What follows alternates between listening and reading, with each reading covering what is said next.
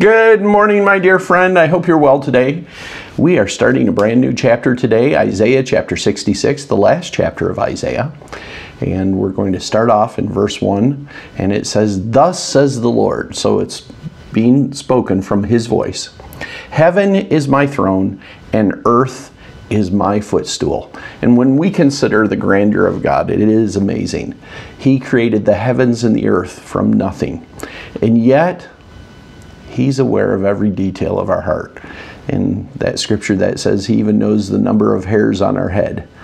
And what a mag- magnificent thing that we can go to Him, the creator of heaven and earth, who uh, sits in the heavens, it says, and the earth is His footstool. And yet, He knows the depths of our heart and the situations that we're facing. What confidence that needs to give us for today. Let's go to the Lord in prayer today and just say, Lord, we want our trust in you. Yes, you're big, you're awesome, but you're aware of every detail of our heart and of our life. Let's pray. Heavenly Father, we come to you today thankful. And Lord, you are great in every way. But we thank you that you're aware of the details of our life. And Lord, you came to make a change in our hearts.